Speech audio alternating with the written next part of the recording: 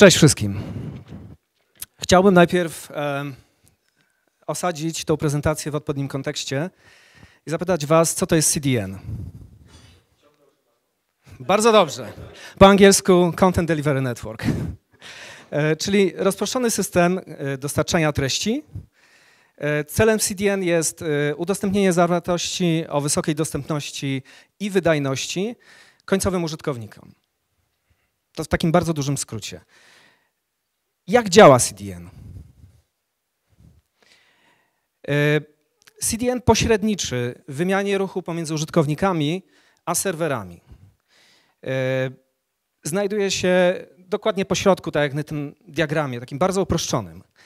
E, stosuje się go najczęściej w większej skali, jak jest większy ruch, bądź jakieś konkretne potrzeby. Podstawowymi takimi cechami CDN-a jest offloadowanie tej infrastruktury backendowej poprzez jakiś caching um, i akcelerowanie dostarczania tej treści. Ale wiele CDN-ów um, posiada dodatkowe funkcje, jak bardziej zaawansowany load balancing, um, absorbowanie ataków DDoS, e, transkodowanie strumieni wideo, bo nie mówimy tylko o CDN-ach dostarczających y, treść e, webową, ale również i, i wideo, czy transkodowanie obrazków w czasie rzeczywistym. I właściwie y, powstaje pytanie, jak taki CDN zademonstrować, jakąś pojedynczą funkcję, jakąś pojedynczy feature y, w prosty i efektywny sposób. Na pewno potrzeba pewnej infrastruktury. Y, I dzisiaj opowiem o takiej infrastrukturze, jak ją zbudowałem, z jakich komponentów i jak to wszystko zautomatyzowałem. E, nazywam się Łukasz Czerpak. E, od siedmiu lat pracuję w Akamai, najpierw jako Solution Architect, później teraz e, Enterprise Architect. Jestem odpowiedzialny za integrację platformy, jakieś niestandardowe integracje, bardziej zaawansowane kustomizacje produktów i mój zakres to jest web performance i, i rozwiązania DevOpsowe. Przed Akamai projektowałem, wdrażałem i, i budowałem systemy bankowości elektronicznej przez wiele lat. Od, może nie od czasu do czasu, bo to jest raczej y, proces ciągły, ale tak już w ramach hobby administruję takimi małymi serwerami z typowymi usługami ISP. Platforma y, y, firmy, w której pracuję, y, ona jest tak nazywana Akamai Intelligent Platform. To jest bardzo duża y, sieć serwerów ponad 250 tysięcy, które, znajdują, które są podpięte do ponad 2,5 tysiąca sieci. Jest obecna, przepraszam, ale coś, techniczne problemy, jest obecna w 4000 lokalizacjach. Te serwery y, są obecne w 4000 lokalizacjach w 140 krajach na świecie. My tak naprawdę jesteśmy obecni w wielu e, sieciach szkieletowych prowajderów, jest to tak zwana first mile e, i dbamy o dostarczenie treści już do samego końca do tej infrastruktury backendowej.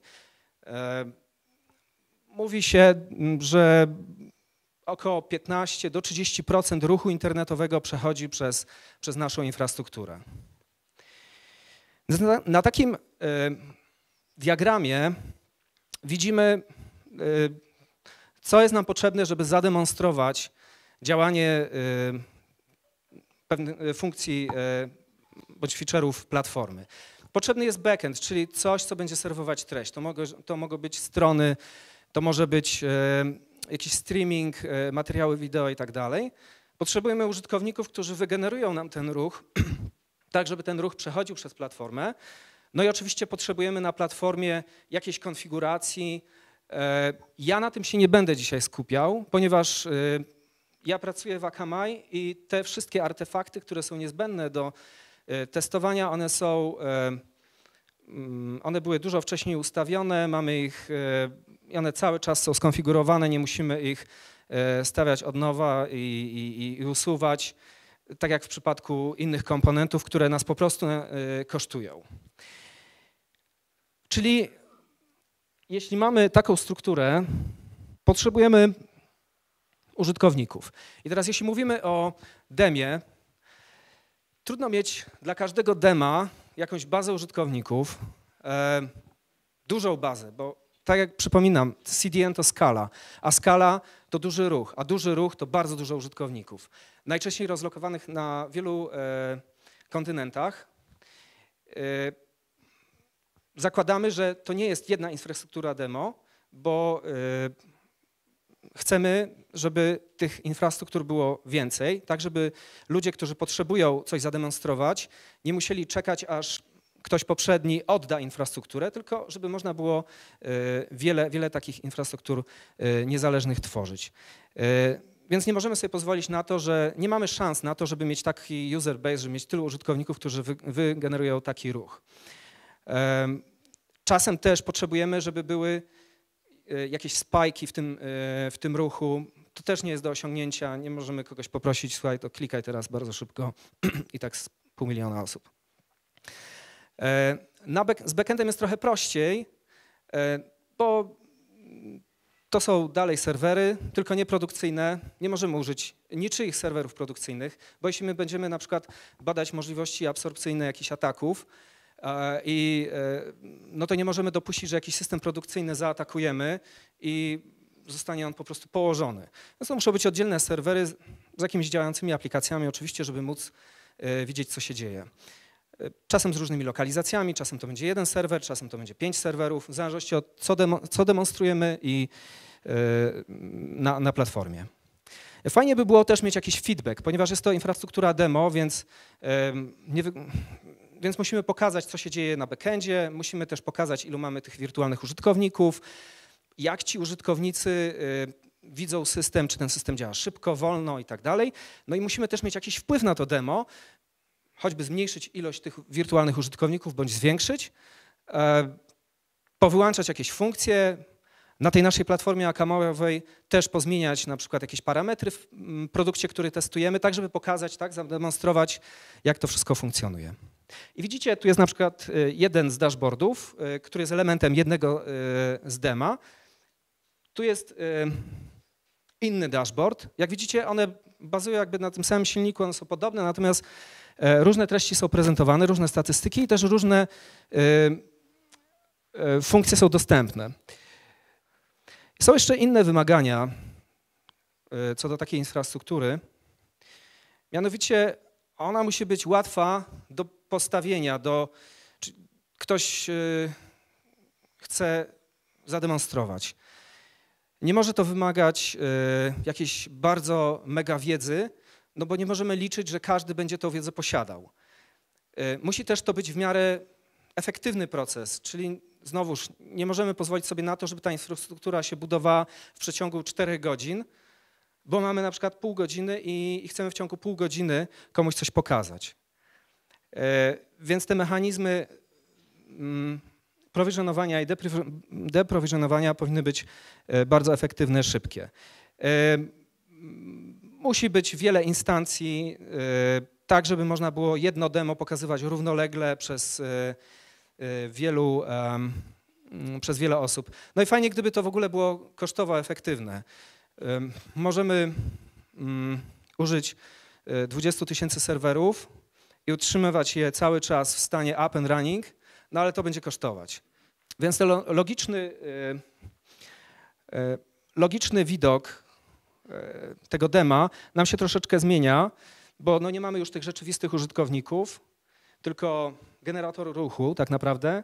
Doszedł nam dashboard, no reszta, tak jak mówiłem wcześniej, e, artefakty, jakieś konfiguracje na platformie i backend, który, na którym mamy jakąś aplikację.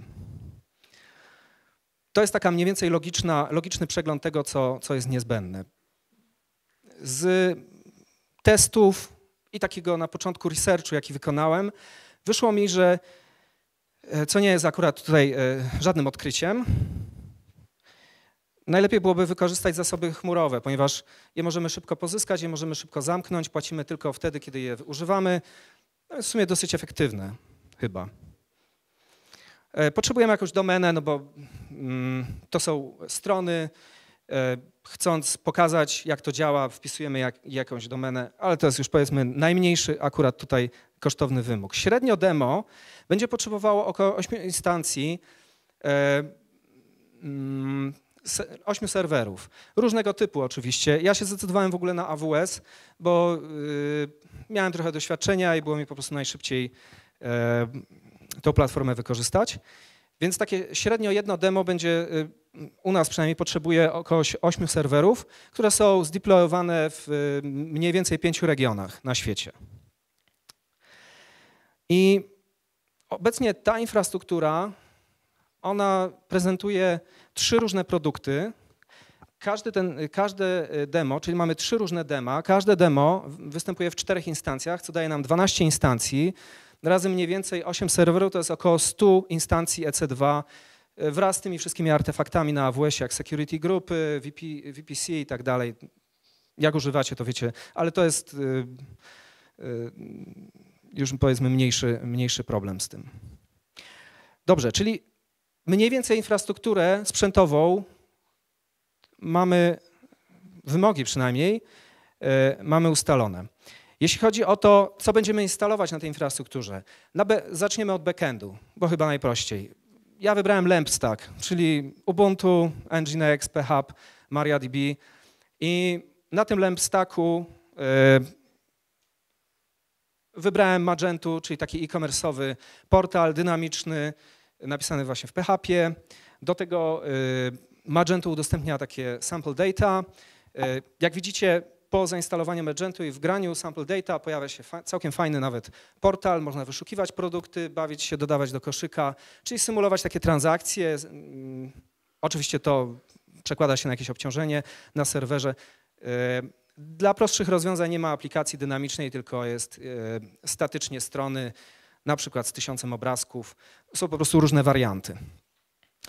E, żebyśmy wiedzieli, co się w ogóle dzieje na tym backendzie, ja użyłem Prometheusa. To jest y, takie narzędzie do y, kolekcjonowania, zbierania danych.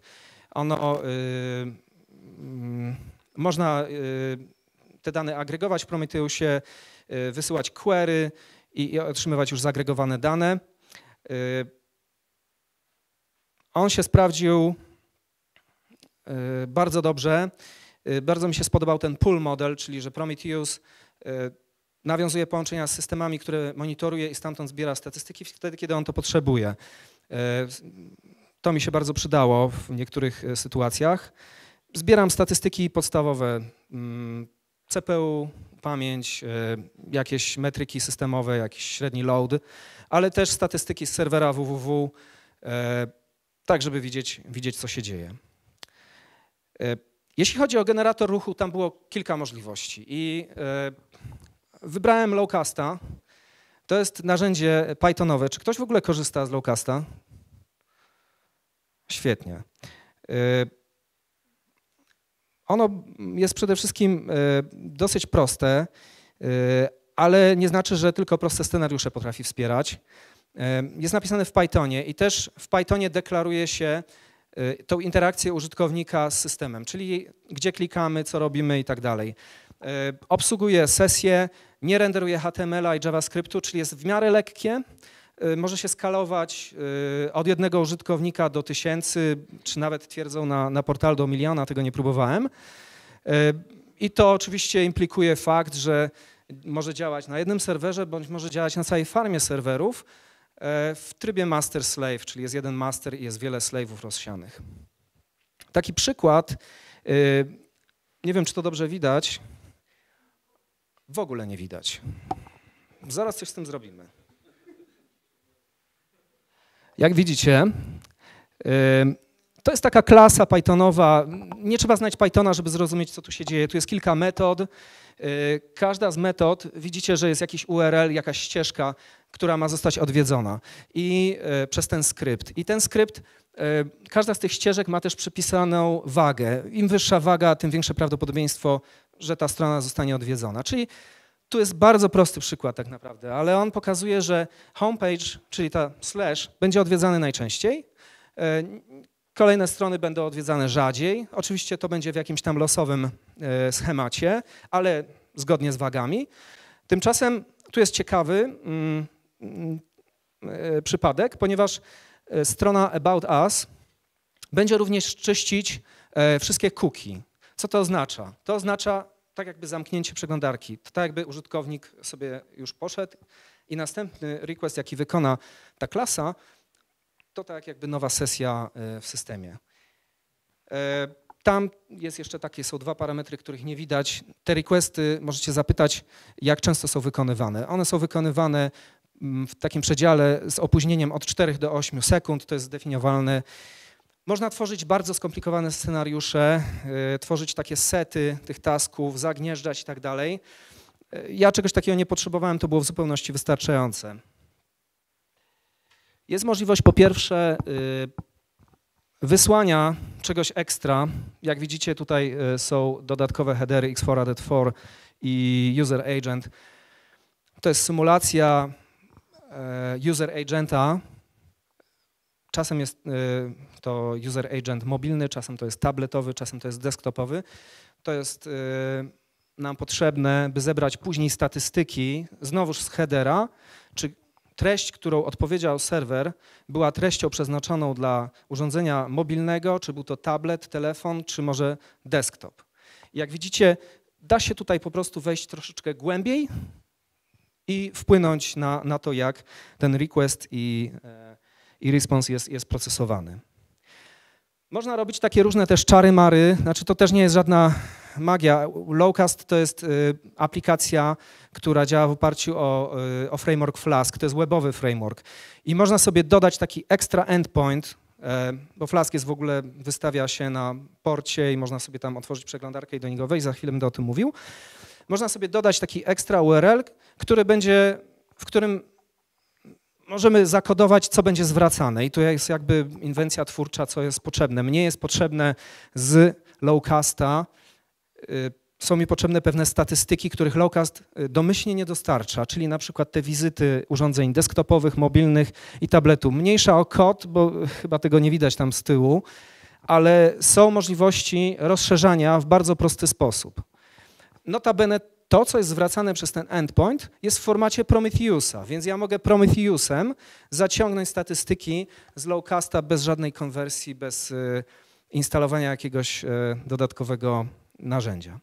Sam Lowcast ma też GUI, e, można się nim trochę pobawić, podstawowe informacje, jakiś e, średni czas odpowiedzi dla tych wszystkich urli, maksymalny, minimalny, ilość błędnych, poprawnych odpowiedzi. Można też zauważyć e, pewne fajne cechy albo błędy. Na tym wykresie, tego tu trochę ucięło, przede wszystkim jest ilość użytkowników, a tu jest średni czas odpowiedzi. Widzimy, że na samym początku nie ma żadnych użytkowników, nagle pojawia się jeden użytkownik, a czas odpowiedzi skacze do prawie 3 sekund. I akurat w tym konkretnie wypadku, co się dzieje? Jest to aplikacja Magentu, jest to pierwszy request do tej aplikacji. Skrypty PHP muszą się przekompilować, template'y muszą się przekompilować. To zajmuje po prostu na maszynie trochę czasu. Ona w tym czasie wstrzymuje odpowiedź, stąd te prawie 3 sekundy i jak już przekompilowane, to osiągamy jakiś stabilny poziom. Czyli coś, co y, być może ciężko byłoby zaobserwować na takim rzeczywistym produkcyjnym systemie, bo pewnie jak y, wystartujecie serwer, momentalnie albo jakiś crawler, albo Googlebot, albo jakiś użytkownik wejdzie, już jakby tracicie ten moment tego, tego pierwszego, e, tej pierwszej szansy, żeby zaobserwować, czy coś się dzieje. Tutaj dzięki e, osobnemu środowisku i, i takiemu narzędziu można, można się trochę pobawić i zasymulować różne rzeczy.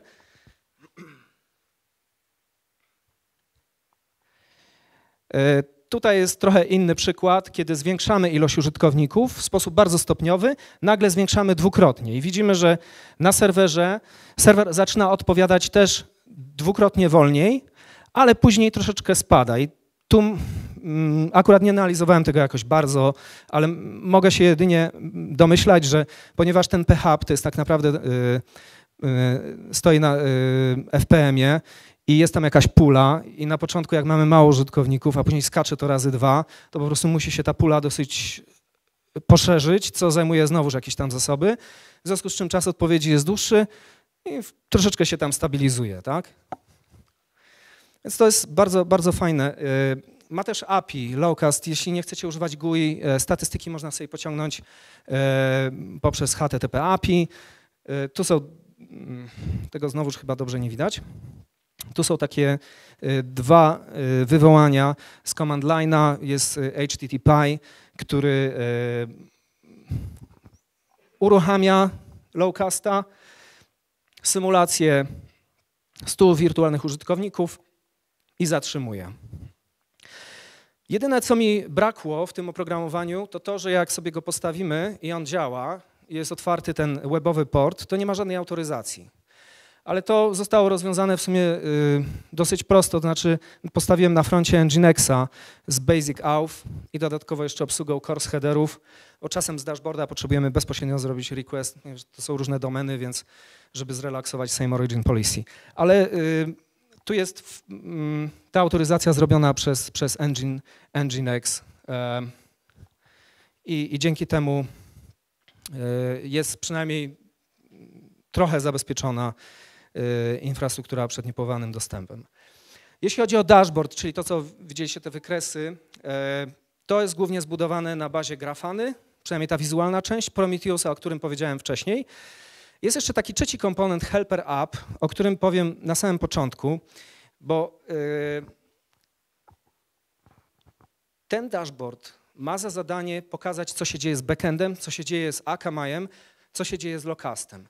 Ma też możliwość, yy, powinien mieć możliwość yy, wpływu. Możemy zmniejszać, zwiększać ilość użytkowników, możemy zmieniać parametry na platformie Akamai, czyli mamy nie tylko odczyt ale mamy również taki zapis, czyli musimy mieć taki read-write, dostęp do systemów.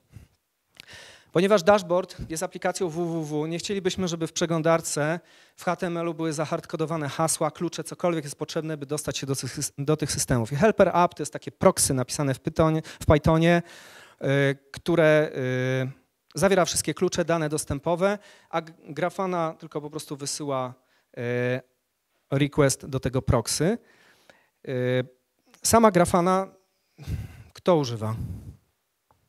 No, to ja nawet nie podejmę się y, próby przedstawienia, ponieważ to jest y, kapitalny produkt, ma masę świetnych opcji. Wylistowałem kilka, które mnie się najbardziej przydały. I jest, tak, są tematy, ponieważ to musi wyglądać świetnie, ponieważ to pokazujemy klientom, a Grafana wygląda świetnie i tu też jest dzięki Grafanie duży sukces. Y, na takim dashboardzie, to jest dashboard jednego z naszych dem. Widzicie komponenty, które mm, używacie pewnie na co dzień. Są to stacked graphs, one są za, e, zaznaczone na czerwono, ale są też rzeczy, które mm, są niestandardowe. I my nie pisaliśmy żadnych dodatkowych pluginów, tylko po prostu zrobiliśmy zwykły, e, wsadziliśmy tutaj HTML. To jest panel tekstowy. I tutaj w tym panelu tekstowym można wybrać, czy to ma być tekst, czy to ma być HTML. I wsadziliśmy JavaScript, wsadziliśmy HTML i Dzięki temu mamy kontrolki i jak klikniemy na te kontrolki, JavaScript kontaktuje się z Helper App i, i wykonuje jakąś akcję. E, w przypadku tego większego widgetu, powiedzmy to tak, tu jest trochę więcej rzeczy i trochę więcej e, dependensy, e, dependencies. Zrobiliśmy iframe i ten, czyli znowuż panel tekstowy z HTML-em i iframe do do dema, które jest serwowane przez właśnie Demo Helper App, czyli tą, tą taką aplikację proxy. Ona też również serwuje HTML, JavaScripty i CSS-y e, tego, tej części dashboardu. Więc w sumie taki bardzo szybki, powiedziałbym, że taki nawet toporny ten workaround, ale z drugiej strony działający i nie mieliśmy z tym modelem, e, takim modelem e, żadnych, żadnych problemów. Teraz jak to zostało zabezpieczone, bo y, powiedziałem, że Demo Helper App ma te wszystkie klucze i do Demo Helper App dashboard się odwołuje. No, jeśli dashboard się odwołuje, to ktoś z zewnątrz też się może odwołać. Sam, sama Grafana y, ma mechanizm autentykacji i autoryzacji. Może ona działać w oparciu o różne mechanizmy, ale ma też coś takiego, co się nazywa auth proxy. E, jeśli zrobimy autoryzację w jakimś innym narzędziu, a w tym wypadku jest to serwer Nginx i powiemy grafanie, że tak, już wiemy, że to jest poprawny użytkownik, poprawne hasło, e, to grafana już nie będzie wyświetlać okienka z logowaniem, tylko będzie ufać, że to jest już użytkownik, który został zautentykowany, czy tam uwierzytelniony, przepraszam. Wykorzystana, wykorzystany Basic Auth na, na Nginxie jest nie tylko do grafany, ale również do helper app, czyli jeśli wchodzimy na ten dashboard, jest basic auth od Nginexa, tam się autoryzujemy i automatycznie dostajemy dostęp do grafany i automatycznie dostajemy dostęp do demo helper app. Demo helper app to jest, tak jak powiedziałem wcześniej, slash demo, czyli ta aplikacja, plus dostęp do API yy, tej aplikacji, czyli serwer Nginx na froncie autentykuje i później wszystkie zasoby już są, e, mamy, mamy do nich dostęp. Ten mechanizm auth proxy to jest e, tylko mechanizm, jaki użyjecie w Nginxie, to jest już e, wasza decyzja. Natomiast grafanie trzeba powiedzieć o tym, że użytkownik jest zautentykowany, uwierzytelniony specjalnym headerem. To się w grafanie dodatkowo włącza. Jest podlinkowany artykuł. Myślę, że to będzie ta prezentacja udostępniona, więc to możecie, y, jak nie używaliście, nie wiem, to, to, to możecie w tym artykule to doczytać. Więc wyodrębniliśmy sprzęt, czy tam zasoby cloudowe, wyodrębniliśmy oprogramowanie, mamy, logi mamy logiczną jakąś strukturę y, sieciową tego wszystkiego, jak będzie to ze sobą gadać. Jak to wszystko zautomatyzować w tym momencie? No bo mm, jak widzicie, masa komponentów, masa interakcji, dużo rzeczy do, do ustawienia. Y, więc ręcznie byłoby to nieosiągalne y, w skończonym czasie. Y, pomysłem tutaj jest rozbicie infrastruktury na warstwy. Tak jak też mówi, mówiłem, najpierw ta warstwa sprzętowa, czy tam zasobów chmurowych, później warstwa programowa, czyli wszystkie usługi, konfiguracje, aplikacje do zdeployowania i na, na samej górze jakieś konkretne elementy, które są specyficzne dla dema. To mogą być na przykład login, hasło dostępowe do dema, to może być y, niezbędne dane, by dostać się do platformy Akamai i tak dalej. Dla tej konkretnie instancji dema, ponieważ jak mówiłem wcześniej, każde demo jest niezależne, a można tych instancji mieć wiele. Podczas researchu napotkałem się, nie wiem czy widzieliście coś takiego, Xebia Labs zrobiło mm, takie zestawienie tuli DevOpsowych. Przypomina to tablicę e, okresową pierwiastków. Fajne narzędzie, fajnie się CV pisze z tym. E, żartuję oczywiście. E, tu jest fajnych narzędzi kilka można znaleźć, jeśli nie siedzimy w jakimś konkretnie temacie, no trudno siedzieć wszędzie, to przynajmniej można zainspirować się zainspirować się tym, tym wykresem. Przydatne też mm, było, był taki diagram Tomasza Limoncelli z książki Practice, Practice of Cloud System Administration. Wszystko jest dzisiaj w chmurze, w kontenerach, w Kubernetesach i tak dalej, ale nie wszystko musimy automatyzować. I Tomas pokazuje jest na osi, oś Y, przedstawia jak często zadanie, dane zadanie wykonujemy, oś X stopień skomplikowania tego zadania. I mm, jaki płynie z tego morał? Jeśli mamy zadania częste, które są łatwe do, zautoma do zautomatyzowania, no to oczywiście automatyzujemy. Jeśli coś jest trudne i wykonujemy to rzadko, udokumentujmy to krok po kroku i nie ma sprawy. Nie musimy wszystkiego oskryptowywać, nie musimy. Można robić niektóre rzeczy manualnie, nie, nie, nie trzeba y, za wszelką cenę, za wszelką cenę automatyzować. To było takie dobre potwierdzenie, y, do, dobrze zadziałał na zdrowy rozsądek. Y, wracając do tych warstw, wybrałem dwa narzędzia, Ansible i Terraform, do zautomatyzowania tych zadań. Więc ja y, znowuż tylko ślizn, y, śliznę się po temacie. Terraform to jest y, narzędzie do wyrażania infrastruktury za pomocą kodu i do automatyzacji tworzenia tej infrastruktury i oczywiście do usuwania tej infrastruktury. Ono mm, ma, potrafi rozmawiać z różnymi silnikami, z różnymi cloudami. W moim konkretnie przypadku rozmawia z AWS-em, tworzy instancje, inicjalizuje maszyny, specyfikuje, co należy wykonać, by instancja była w pełni, w pełni sprowizjonowana. Taki przykład to jest język HCL, HashiCorp Configuration Language, za pomocą którego wyraża się tą infrastrukturę. To jest oczywiście jakiś fragment. Widzicie, że jest resource typu AWS Instance, nazywa się on DC, DC1, czyli Data Center 1, e, instancja typu T2 Nano, e, jest wskazanie, jaki obraz użyć, jaki klucz, do jakiej security grupy podpiąć. I tutaj na dole jest jeszcze mm, sekcja odpowiedzialna za tak naprawdę zainstalowanie, zaktualizowanie pakietów. Jak widzicie, jest to pewna warstwa abstrakcji. Dzięki temu językowi jesteśmy w stanie wyspecyfikować e, całą infrastrukturę.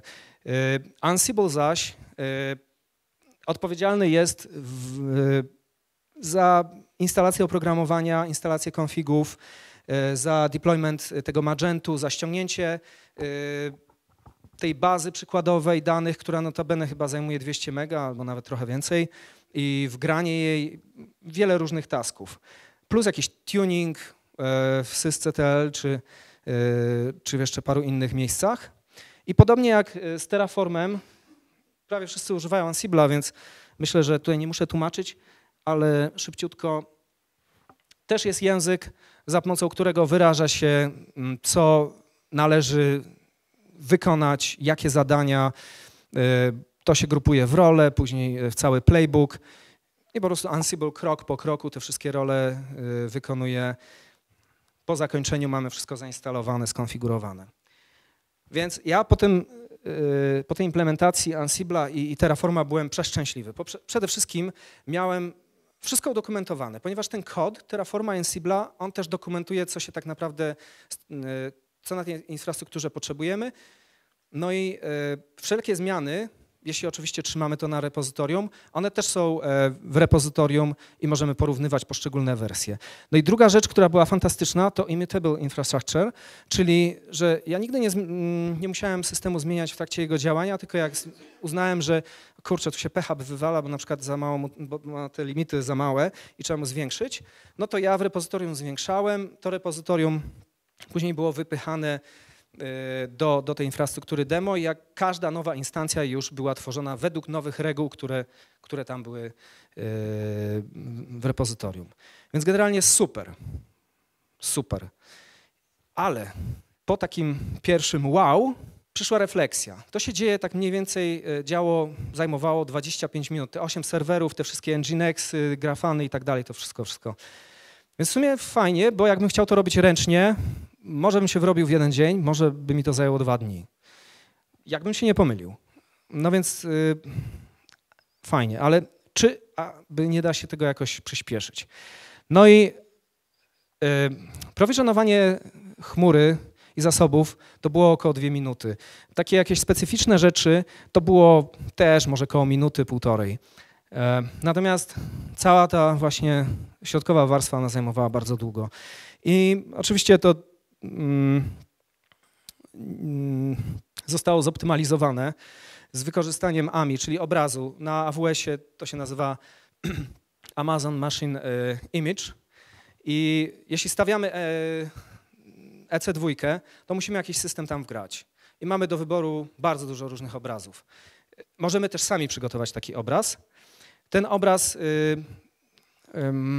przygotowałem z, y, z, wykorzystaniem Ansible'a, ponieważ on tak naprawdę jest odpowiedzialny za instalację tej środkowej warstwy. Natomiast do orkestracji użyłem Packera. Y, Packer, notabene ta sama firma co Terraform, y, to jest narzędzie do tworzenia obrazów, wspiera różne platformy, różne formaty, obsługuje wiele różnych tuli. w moim konkretnie przypadku proces tworzenia obrazu wygląda w ten sposób, że Packer sobie tworzy taką tymczasową EC2, uruchamia tam Ansible'a, e, buduje AMI, bierze snapshot, eksportuje i wgrywa na, do tych regionów, gdzie to AMI będzie potrzebne. Taki przykładowy plik, który specyfikuje właśnie AMI dla dla serwera www, dla takiej instancji, e, zawiera dwie sekcje, builders i provisioners. Builders, gdzie budować, na czym budować, czyli jest tam instancja e, e, T2 medium, jakich kluczy użyć, jakie, to jest taki podstawowy jakby definiuje środowisko, w którym będzie budowane i co będzie budowane. Natomiast jak będzie budowane znajduje się tutaj w Provisioners i y, widzimy tutaj dwie sekcje. Jedna to jest takie polecenia shellowe i drugie wykonanie tego Ansible'a. No Ansible nas nie zaskakuje, bo jakby on jest głównym tutaj y, wykonawcą. Natomiast y, tu jest taki trik Cloud Init, który jest użyty w momencie stawiania tej maszyny, to jest apt-get, update, apt-get, upgrade plus instalacja Pythona. I ten Cloud Init, on czasem się wykonywał bardzo szybko, a czasem wykonywał się bardzo wolno. Jeśli on się wykonywał bardzo wolno, y, to ten skrypt Ansible, on się y, zaczynał zbyt wcześnie. No oczywiście tam były loki, więc się ten Ansible wywalał i cały proces budowania się zatrzymywał. Więc tu jest taka prosta pętla, która sprawdza, czy plik boot finished jest obecny i jeśli jest obecny, no to dopiero przystępuje do, do dalszej do dalszych czynności. To wyszło jakoś tak zupełnie niespodziewanie. Ja nie byłem świadomy, myślałem, że Packer sobie w jakiś automagiczny sposób potrafi zaczekać, ale okazało się, że chyba nie. E, przykładowa sesja e, w terminalu. Odpalamy tego Packera z e, plikiem konfiguracyjnym. Widzimy, że jest jakaś EC2 mm, postawiona. Wykonuje się Cloud Init, to jest ta pętla, o której przed chwilą mówiłem. Później po Cloud Inicie wykonuje się Ansible, po tym, jak się y, Ansible wywali, wszystko jest usuwane, więc nie musimy iść i sprzątać na, na AWS-ie. To zrobi Packer. Jest błąd, ja się tu machnąłem w nazwie pakietu. Jak jest wszystko OK, AMI jest y, mm, wgrane do, do tych regionów, gdzie, gdzie ma być wgrane. Y, skończyłem z czterema AMI. Dla dashboarda, dla generatora ruchu, dla dynamicznego backendu i statycznego. Backend, co w takim AMI się znajduje? Nginx, PHP, MariaDB, Magento plus Sample Data, podstawowe pliki konfiguracyjne, Prometheus exporter, do eksportu statystyk, plus jakieś tweaki.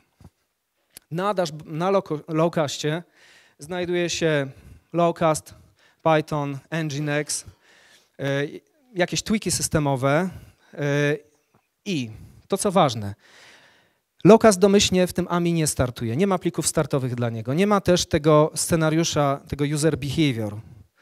No bo na tym etapie AMI to AMI może być użyte w wielu różnych scenariuszach, w wielu różnych demach. I tak samo jest taki dummy, taki po prostu pusty plik passwd, y, no bo na tym etapie też nie wiemy, jakie, jaki jest użytkownik hasło dostępowy do tego dema. To jest generowane w czasie rzeczywistym w momencie stawiania dema. Podobnie rzecz się ma z dashboardem. Dashboard AMI podobnie. Y, jest Nginx, Docker, Grafana. O, właśnie, Grafana i Prometheus są na Dockerze. Było po prostu łatwo i było to ogarnąć w ten sposób, ale to mm, jest mało istotne. Nie ma konfiguracji, nie ma y, dashboardu wgranego w Grafanę i nie ma konfiguracji Prometheusa. Tak samo jest pusty plik password. Y, plus są jakieś tam skrypty, które później wykorzystywane są w momencie stawiania konkretnego dema. Efekt piorunujący. Całość wstaje po 3-4 minutach. Rewelacja. E, nic dodać, nic ująć, byłem zadowolony, to mnie satysfakcjonowało. Być może można było gdzieś jeszcze coś zoptymalizować, gdzieś coś inaczej rozwiązać, ale było to już na takim poziomie, który e, nas, mnie i, i, i ludzi w mojej firmie satysfakcjonowało w 100%. Chciałem powiedzieć słowo o testowaniu tych AMI, bo Packer tworzy sobie EC2, to są jakieś koszty. Ja na początku, w ogóle ten projekt, on nie, wziął, nie był od razu myślany o takiej skali. Tak naprawdę zaczęło się od hej Łukasz, tam mamy taki produkt, może byś przygotował jakieś demo. I to była jedna instancja jednego produktu, nic więcej. a później uznaliśmy, że to jest w sumie fajna sprawa i można by to powielić i jeszcze zrobić tak, żeby właśnie było kilka instancji, ale no to pociąga za sobą jakąś automatyzację i tak dalej. Pojawił się problem, no okej, okay, ale to trzeba wtedy dobrze potestować i, i ten development też był trochę dłuższy, więc wykorzystałem Vagranta. Vagrant tworzy zamiast EC2 lokalnie wirtualną maszynę. Yy, taki plik definiujący bardzo fajne narzędzie. Yy, w pliku konfiguracyjnym, jakiego, jaką maszynę postawić, ile pamięci jej dać, jaki obraz, jaki system operacyjny. W Ansible Inventory musimy po prostu wskazać, bo Vagrant sobie tworzy maszynę, tworzy klucz dynamicznie, więc Ansible musi wiedzieć, którego klucza użyć i w zasadzie to już wystarczyło, żeby sobie po prostu lokalnie dewelopować bez konieczności użycia AWS-a. Chciałem powiedzieć o strukturze projektu w Terraformie, ponieważ tutaj też trzeba było przyjąć pewne, pewne rozwiązania, yy, które by umożliwiały właśnie stwarzanie, efektywne tworzenie wielu instancji i, wykorzystanie kodu wielokrotnie. Yy, więc jak logicznie popatrzymy, jeśli mamy demo, to mamy taki główny moduł, który specyfikuje dalej, co potrzebuje. I tu widzimy, że jedną instancję dashboardu, pięć instancji lowcasta i trzy instancje backendu.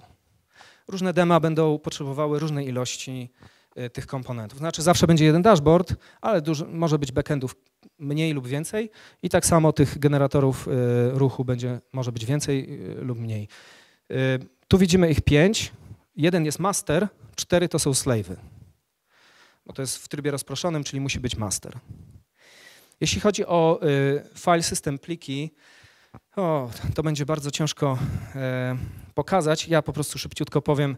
To jest ten główny projekt na, na czerwono i on tak naprawdę zawiera e, plik main.tf, który importuje te wszystkie, y, y, wszystkie podmoduły, czyli dashboard instance, lowcast instance, origin instance.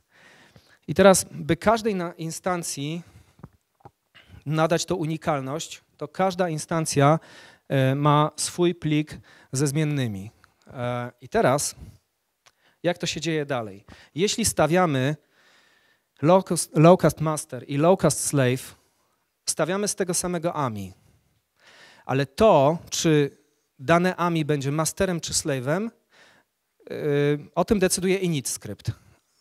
A init script mówi, jak uruchomić proces lowcasta. W przypadku mastera trzeba tam podać inne parametry, w przypadku slave'a trzeba podać adres mastera. Czyli yy, i w, yy, w Terraformie, jeśli ustawimy lowcast master na true, wtedy Terraform uruchomi tą część, która jest odpowiedzialna za uruchomienie mastera. Jeśli domyślnie lowcast master jest false, to po prostu wykona, nie wykona się ten, e, ta część e, odpowiedzialna za, mas, za konfigurowanie mastera, tylko za slave'a. Inny init skrypt zostanie podgrany. Natomiast e, poszczególne cechy danego dema, na przykład jaką instancję użyć do, do mastera, jaką instancję użyć do slave'a, w które regiony wsadzić te, te instancje, to jest y, w pliku ze zmiennymi. I każda instancja dema ma swój plik ze zmiennymi, więc możemy sobie w zasadzie każdą instancję wsadzić w różne regiony i jeszcze tak y, na, y, jako dodatkowo, ponieważ Terraform, przynajmniej w moim rozumieniu, głównie jest odpowiedzialny za prowizjonowanie tej infrastruktury. Ale trzeba tam coś do pokonfigurować, trzeba potworzyć hasła, trzeba wgrać dashboarda. Można by to było zrobić jakimś Ansiblem albo czymś innym. Ja nie chciałem dodawać żadnego dependencji, tylko chciałem, żeby ktoś, jak będzie uruchamiał demo, to żeby musiał mieć tylko tego Terraforma. No i wykorzystałem taki mechanizm, który się nazywa null resource. Tam można wprowadzić takie warunki, kiedy ten, ten resource należy y, utworzyć i jak go utworzyć, to jest, może mi się to uda powiększyć. Tu to, co widzicie, jest odpowiedzialne za to, by po postawieniu EC2 z obrazu AMI dashboarda, żeby zalogować się na tą maszynę, poczekać aż grafana na porcie 3000 będzie uruchomiona, zacznie odpowiadać nam jakoś normalnie, 200 na przykład. Jeśli to zostanie y, osiągnięte, to w następnym kroku uruchomić skrypt Pythonowy, który wgra dashboard. Dashboard AMI jest generyczny, czyli nie ma w nim tego dashboardu, a dashboard dla każdego dema jest inny. Zatem Terraform po postawieniu uzupełnia grafane o ten konkretny dashboard, wgrywając po prostu y, JSONa do y, z użyciem skryptu y, Pythonowego. Czyli w zasadzie po tym wszystkim, żeby uruchomić demo, trzeba wykonać jedną komendę. I tą komendą jest uruchomienie Terraforma, wskazanie, gdzie ma przechowywać stan, no bo później Terraform musi zamknąć tą infrastrukturę, musi ją usunąć, więc musi wiedzieć, co postawił. Każdą instancję przechowuje w innym workspace'ie, nazwę workspace'u przekazuje poprzez zmienną środowiskową, profil do AWS-a przekazuje przez zmienną środowiskową i zmienne przekazuje w parametrze, czyli tą jedną komendą uruchamiamy całe demo, po trzech minutach, czterech demo jest e, działające. Podobna komenda, żeby demo zatrzymać i usunąć wszystkie, wszystkie zasoby. Ale żeby wykonać to, trzeba mieć dostęp do Gita. Te pliki wszystkie trzymamy w Gicie. Ok, możemy dać komuś dostęp do read-only, do, do tego Gita, niech sobie ściągnie. No ale ktoś może zapytać, ale co to jest Git? Nie, nie, nie musimy, ja nie mogę oczekiwać, że wszyscy, którzy używają tego dema, tej infrastruktury, będą wiedzieć, co to jest Git, będą wiedzieć, co to jest Terraform i będą potrafili, mieli odpowiednie skille, żeby to uruchomić. Już pomijam fakt, czy Terraform będzie w odpowiedniej wersji, czy nie będzie jakichś innych e, rzeczy, które będą po prostu nie działać albo blokować. Muszę też, też dać dostęp do, do AWS-a albo oczekiwać, że ten ktoś, kto sobie uruchamia tą infrastrukturę, że będzie miał AWS-a i będzie miał te wszystkie prawa, żeby utworzyć sobie C2 w tych regionach i tak dalej. No więc to, tu był taki jeszcze orzech do zgryzienia, że już wszystko mam zautomatyzowane, wszystko szybko działa, jest super, ale tej jednej rzeczy, czyli ten stopień skomplikowania jeszcze jest zbyt duży dla przeciętnego, e, przeciętnego e, zjadacza chleba. I na rozwiązanie tego problemu przyszedł JobRunner, Randek. To jest takie push the button solution. Ludzie logują się do portalu, jest jeden, log, jeden użytkownik, jedno hasło, no bo to jest wewnętrzne w firmie po VPN-ie, więc tam nie ma jakiegoś problemu.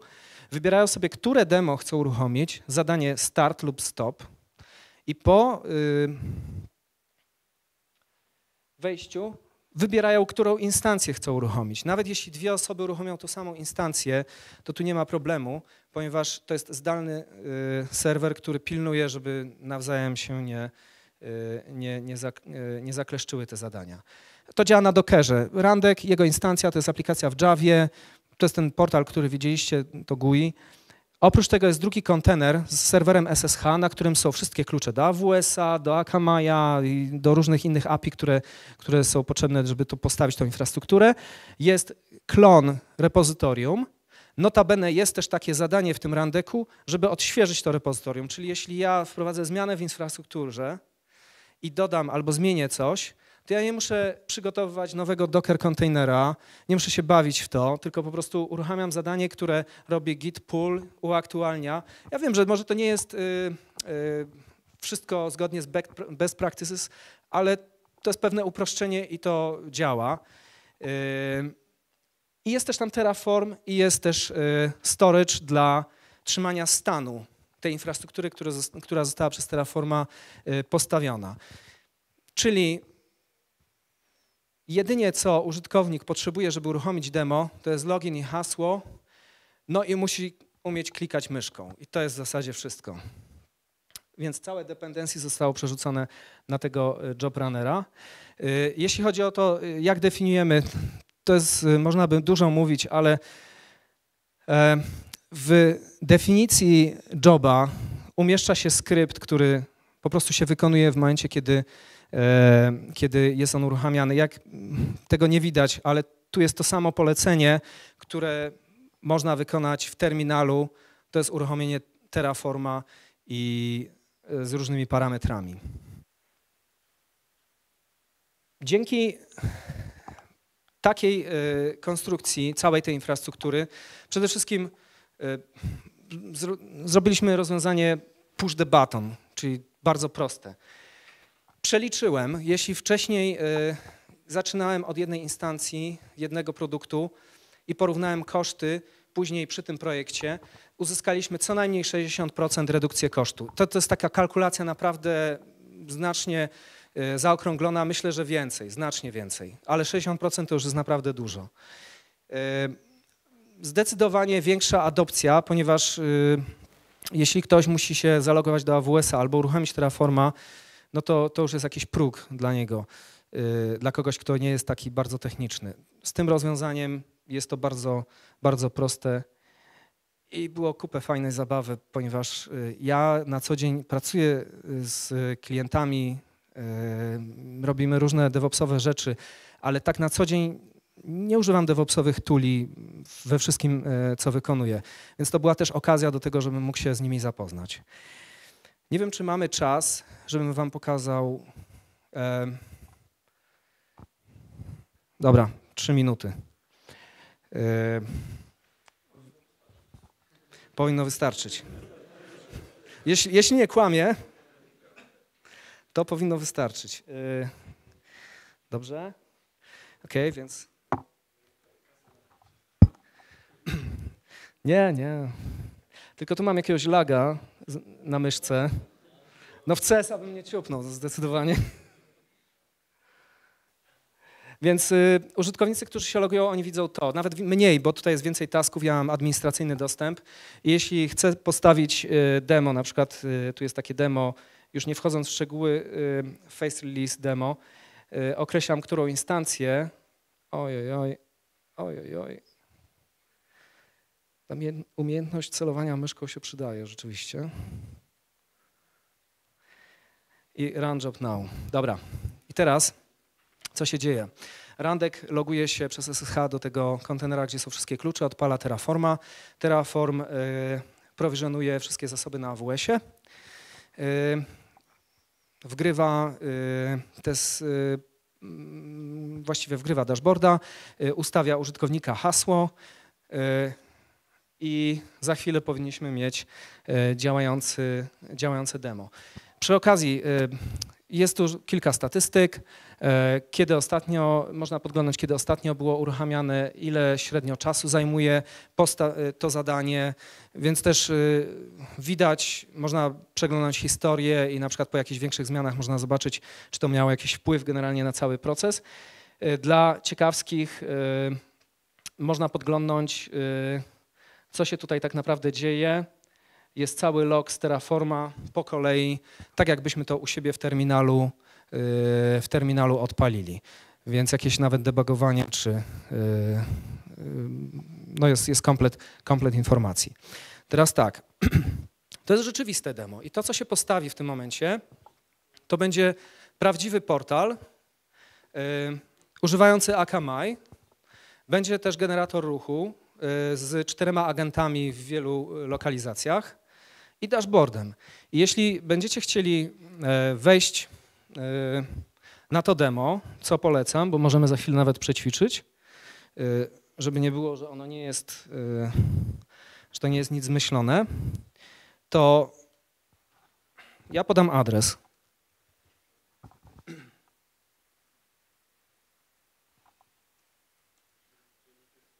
To jest tak, demo 1.1.pr od Face Release WebPerf IT.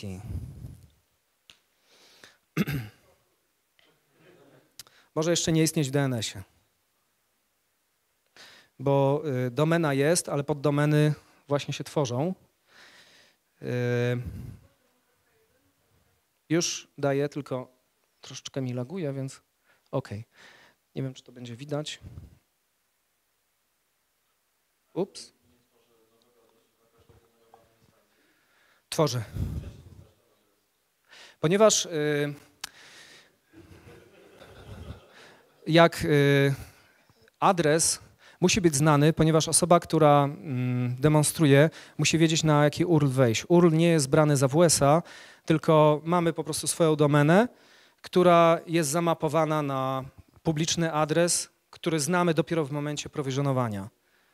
Czyli e, jest podnoszona EC2, jest tam wszystko wgrywane, wtedy znamy publiczny i wtedy robimy rekord y, y, w DNS zonie. Odpaliłem instancję numer jeden. Y, To jest URL dla instancji numer jeden. Po prostu mamy szereg instancji już predefiniowanych, tak żeby po prostu nie, nie, nie generujemy zupełnie randomowych, losowych urli, przynajmniej w obecnym kształcie e, tej infrastruktury.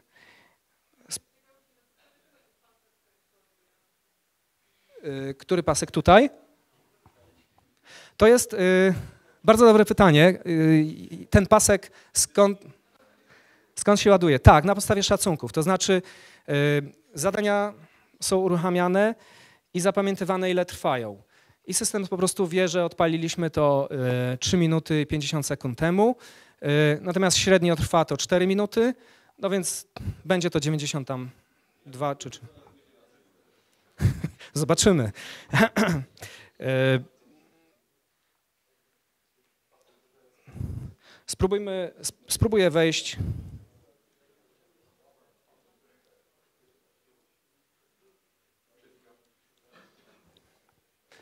Jeszcze niestety, e, jeszcze niestety nam się to nie podniosło. E, Spróbuję wejść na dashboard.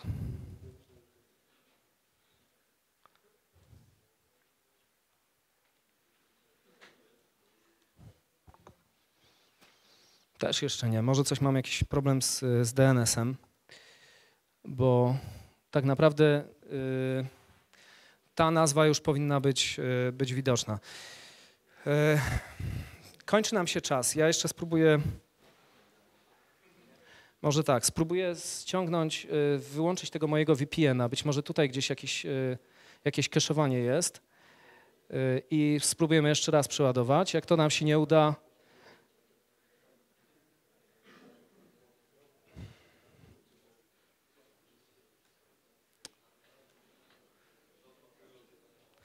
No bardzo mi przykro, ale nie mamy już więcej czasu. Spróbujcie, spróbujcie za chwilę wejść na ten adres. Dziękuję bardzo.